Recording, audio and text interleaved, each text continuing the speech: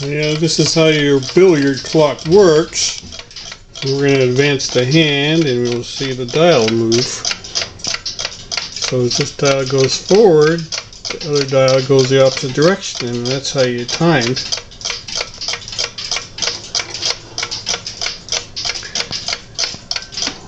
And we'll put it, there's a marker here. You put this marker